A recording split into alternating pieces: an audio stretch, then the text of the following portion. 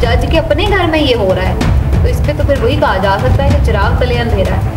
तो जिस जज को जो इतना अंधा जज है कि उसको खुद ही नहीं नज़र आ रहा कि उसके घर में किसी के साथ जुल्म हो रहा है तो वो और अल्लाह ने उसको दोबारा ज़िंदगी दी है अल्लाह उसको सेहत दे। लेकिन जिस तरीके से बेईमाना तशद करके तकरीबन उस बच्ची को मार दिया गया था हम हर केस के मामले पर यही सोच रहे होते हैं कि पता नहीं इंसाफ मिलेगा या नहीं मिलेगा। क्या लगता है आपको कि उसको वो बच्ची को इंसाफ मिल पाएगा? कि जो जज अपने घर में एक मजलूम को इंसाफ नहीं दे सका। जज की बीवी अगर अपनी मुलाजिमा पर, रिजवाना नाम की मुलाजिमा पर तशद करती है, उसको दूसरे दिन ही बेल मिल जाती है।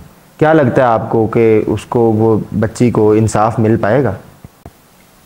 ये एक और हमारी जो माशरे का एक भयानक चेहरा है, जो आपने जिसकी निशानदेही की है, बिल्कुल आप सही कह रहे हैं कि जो हमारे माशरे में इस वक्त इंसाफ की हालत है, हम हर केस के मामले पे यही सोच रहे होते हैं कि पता नहीं इंसाफ मिलेगा या नहीं मिलेगा, क्योंकि हम देख ही रहे होते हैं कि अदालतों के बहुत सारे फैसले बड़े मुतनाज़ होते हैं जिसमें हमें नज़र आ रहा होता है कि जो बासर लोग हैं माशरे में वो अपना असर रसूख इस्तेमाल करते हैं और आइन और कानून को अपने मुताबिक ढाल कर अपने हक में फ़ैसले लेने में कामयाब हो जाते हैं। और यही हमें जो रिजवाना वाला मामला है उसमें बड़ी अनफॉर्चुनेट ये बात है कि जिस तरीके से बेईमाना तशद करके तकरीबन उस बच्ची को मार दिया गया था और अल्लाह ने उसको दोबारा ज़िंदगी दी है अल्लाह उसको सेहत दे। लेकिन आप अंदाज़ा लगाएँ कि ये भी वही अगेन बात है कि हमारा माशरा हमें कहाँ पर हम ला के खड़ा कर दिया। और जहाँ जज के घर में ये हो रहा है जिस जज के अपने घर में ये हो रहा है तो इस पर तो फिर वही कहा जा सकता है कि चिराग तले अंधेरा है कि जो जज अपने घर में एक मजलूम को इंसाफ नहीं दे सका।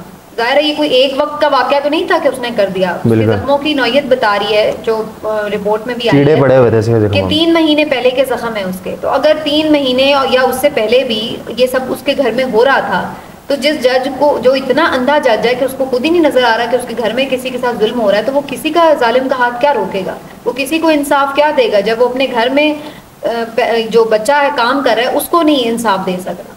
तो ये यही हमारे मुल्क की सबसे बड़ी बदकिस्मती है। इसीलिए तो हम यहाँ मैं बार बार जो बात कर रही हूँ हम यहीं पर इसीलिए पहुँचे हुए हैं कि जब इंसाफ हमारा नापैद हो गया आइन और कानून का कोई एहतराम ना रह गया कोई उसकी हैसियत नहीं रह गई अखलाकियात हमारी तबाह हो गई हैं। यानी कुछ तो जराइम ऐसे होते हैं जो कवानीन के तहत जराइम है। और कुछ तो एक अखलाकियात होती हैं कि आप खुद ही नहीं कुछ चीज़ें सोच भी नहीं सक रहे होते कि यार आप कैसे किसी के साथ जुल्म कर सकते हैं।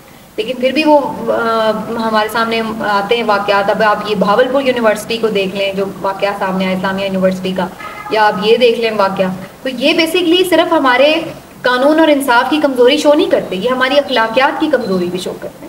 बिल्कुल सबसे बड़ी बात कि चाइल्ड लेबर वैसे भी जुर्म है पाकिस्तान और जज के घर में चाइल्ड लेबर वो कवानीन की तो खिलाफ वर्जी है ही है ये अखलाकियात को भी हमने मात दे दी हुई है यहाँ पर भी हम नीचे आ गए तो ये प्रॉब्लम सारी तरफ़ से ही है।